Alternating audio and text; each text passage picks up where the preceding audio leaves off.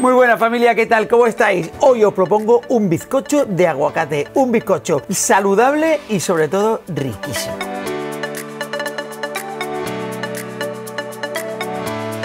Vamos a empezar vaciando los aguacates y machacando muy bien la pulpa. Tenemos el aguacate, ¿qué hacemos ahora?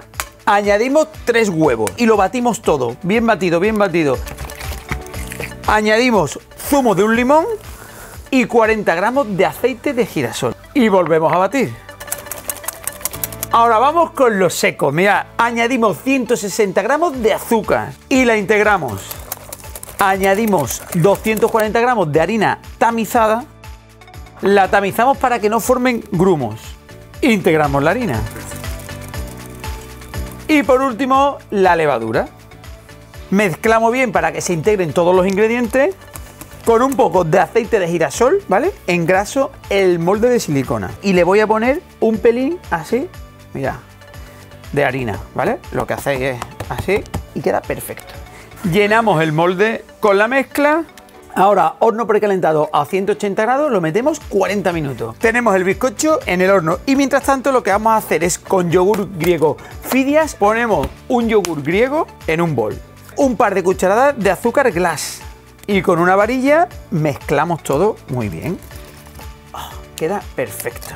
Ahora vamos a picar unos frutos secos, en este caso de Naturmundo de día. Yo he elegido anacardo, pero hoy podéis coger lo que os apetezca. Bueno familia, el bizcocho que lo tengo frío, ¿vale? Se demoda súper fácil, ¿veis? No tengo que hacer nada. Y tenemos nuestro glaseado de yogur. Pues ahora vamos a ponerlo por encima, así. Ahí.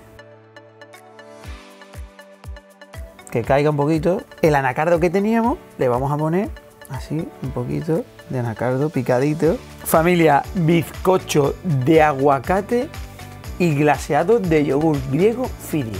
Saludable, riquísimo y sobre todo muy fácil de hacer. Probadlo.